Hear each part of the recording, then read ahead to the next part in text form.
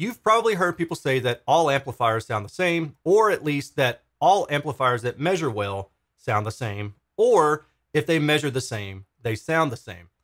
The problem here is that so many people are stuck in the mire of evaluating the measurement or simply going off of their ears alone that these two arguments clash for no reason at all. The truth of the matter is that amplifiers can and do sound different. About a month and a half ago, I borrowed a Prima Luna Evo 400 tube amplifier from my local dealer, and I also used my McIntosh MC275 Mark VI to do some blind ABX testing. Initially, I set voltage to be the same at 1 kilohertz. I sat down and there was a huge difference right away. So then I thought, well, maybe I need to do some level matching based on SPL and the listening position. I tried to do that, but that was tough. Then I did an actual electrical frequency response coming out of the amplifier with the speakers attached, and I was shocked, shocked really, at how big a difference the signal was between the two amplifiers. Now, this is what I got. The blue line represents the difference in amplitude over frequency of the Prima Luna Evo 400 compared to the McIntosh MC275. Now you can see there is much less mid-range warmth in the lower mid-range area, and the high frequency rolls off significantly. In some points, we're talking two to two and a half decibels. That's not chunk change, and you would definitely notice that. I even took the time to perform this testing with myself being recorded, and I have shared that on my Patreon group. If you're interested in watching my full test, it's about a 10 minute video where I sit there and I blind listen and I flip through them and I holler out, this one's different, this one's different, and I nail that test.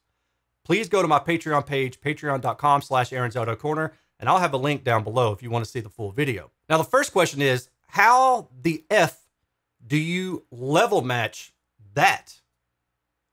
How?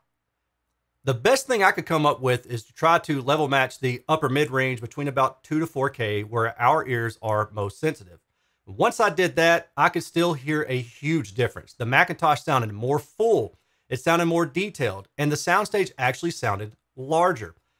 When I was able to apply some EQ to that McIntosh to emulate what the Prima Luna was doing to the speakers, that changed things. Now they were on an even keel. I didn't notice the drastic differences anymore. But the other factor here is if I had level matched these the other way around, so let's say I level matched these to where the mid range, the lower mid range, was in line, where that two and a half decibel dip was, then what definitely would have happened is that the Prima Luna would have sounded brighter. Some people may have called that more detailed, more attack, more dynamicism, more clarity in dialogue. And they might have chosen the Prima Luna based on that. So that got me thinking, what's causing this? Output impedance. The best way I can describe output impedance is to think of it like taking a resistor and applying it between the amp and your speaker. For most solid state amps, this value is extremely low. It's close to zero ohms. But for tube amps, or even some modern amps with certain designs, such as maybe a Class D amplifier without a feedback loop, that output impedance can be much higher, half an ohm, one ohm, or even more. And that little bit of a resistor, that one or two ohm resistor, it's not trivial. That forms a voltage divider with your speaker's impedance, and that alone can change the response of the output a lot. If your speaker's impedance was flat, like straight 4 ohm or 8 ohm, that'd be one thing. But speaker impedance varies in magnitude and in phase. And this complex impedance in partnership with the output impedance of the amplifier itself creates a lot of variation in the frequency response if you have a high output impedance amplifier. And if you're wondering, the relationship between high output impedance from an amplifier is the opposite for the damping factor. So if you have high output impedance, you're going to have low damping factor. One unfortunate thing is that output impedance and damping factor both are rarely given per frequency. Most of the time, you're going to see just a single value. Website may say damping factor of 40 at 8 ohm or something like that, but it's not going to tell you much more than that. I did some digging around after my listening test, and I found that the Prima Luna actually has an output impedance of about 2.3 ohms. That's really high. A good amplifier should have an output impedance let's say below 0.1 ohm, okay? The higher you go, the more variation you're going to get from that amplifier into your speaker. The output impedance varies with frequency, so that single value doesn't help. You may very well have an amplifier that has low output impedance in a lower frequency, but high output impedance at a higher frequency. Let's take, for example, the WiiM amplifier. Now, this is a few designs back, so things have changed now and it's gotten better. But as you can see here, you have very low output impedance around 0.1 in the lower frequencies up to about 2K where it starts to increase and it increases pretty rapidly almost to about 2 ohm at 20 kilohertz. Now, this difference alone can cause you to have variations in frequency response. And that's what I'm showing you here. Now, these lines each represent a resistor of some sort. The blue line is 4 ohm, the red line is 8 ohm. These are both static loads. The green line and the orange line are both reactive loads that simulate a real speaker, full of crossover components that I had built to spec, and they are built specifically to allow me to test variation in frequency response due to different amplifiers' output impedance. So if we take these different loads, the two static loads, 4 and 8 ohm, and the two reactive loads, complex and simple, and apply those to the WiiM, we can see there's not a lot of change in the lower frequency. Well, that makes sense because the output impedance is low in those frequencies. But then as we go above about 1K and get into 2K, we start to see variations here. Now, this is two things. Number one, the output impedance of the amplifier is ramping up, as you just saw. And number two, the actual impedance and the phase of the speaker itself or the speaker loads are changing as well for these reactive loads. Let me give you an example of a good case. This is a NAD C3050. The output impedance is measured at about 0.1 ohm low. You shouldn't have any variation in frequency response. And that's what we see here. When I apply my four different loads to this amplifier and sweep the response, there is practically no change. Now, luckily, this issue of output impedance isn't a huge problem for most amplifiers, but as I spoke about earlier, when you go from solid state amplifiers to hybrid amplifiers or class D amplifiers without a feedback loop or really crazy tube amplifier designs, you start ramping up that output impedance. And that output impedance can vary the overall frequency response and change drastically what you hear. And that, that, bring it all back together, is exactly why people will say this amp sounds good with this speaker. Now, the problem is that you can't really do that kind of testing. This whole talk of synergy. How in the world are you going to go get all of these amplifiers for this one speaker that you have? or take this 15 different speakers and try to pick the best amplifier. You just can't do it. And there's no way for me to provide you with real actual data on these things because I don't have access to all these amplifiers and I don't have access to all of these speakers. However, what I can do is I can simulate a output impedance and apply it to measured impedance of different speakers. And that's exactly what I'm doing here. So we're going to start off with something that has very low output impedance.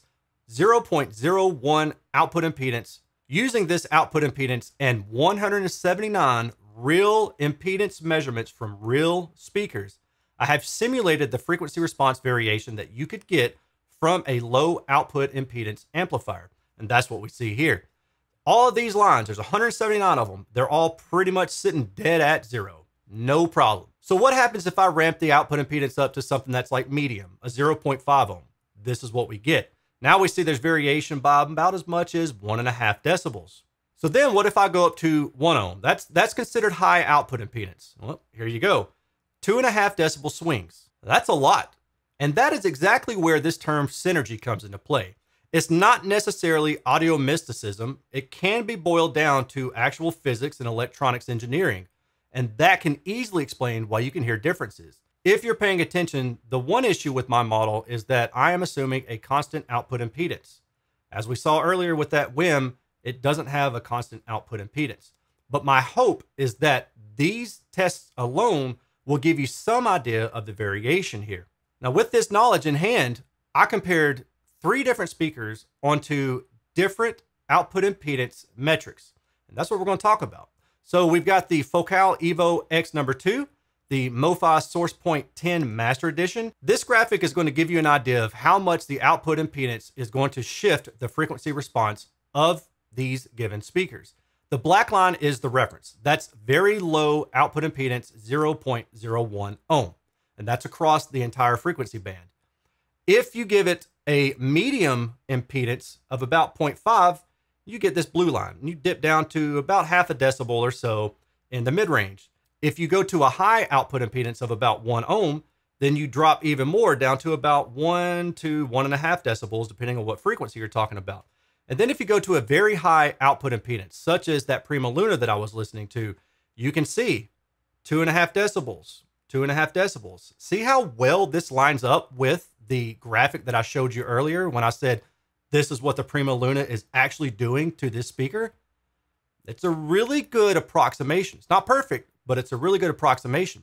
Now, if we look at the MoFi SourcePoint 10 Master Edition, you can see that the output impedance isn't really changing the frequency response much, but it is on the low end to some degree. As you increase the output impedance, in the higher frequencies, you'll notice there's little to no change. And if you watch my review of the MoFi SourcePoint 10 Master Edition, you may recall I pointed out specifically that the speaker crossover has implemented a conjugation network that allows it to flatten out the impedance in the high frequency so it is less susceptible to different amplifiers. That's exactly what we're seeing here. So as you go from amplifier to amplifier with this speaker, don't be surprised if you don't hear much of a difference at all. That was the intent of this speaker's updated crossover design. So these were examples based on themselves. What I want to do now is to show you something else that I'm doing, which is to take these deltas from these changes and apply them to the actual measured frequency response with a very low output impedance amplifier. That's how I capture my on-axis sensitivity measurements. So as we can see here with the Focal, average sensitivity 88.2 decibels in black, and you can see the frequency response.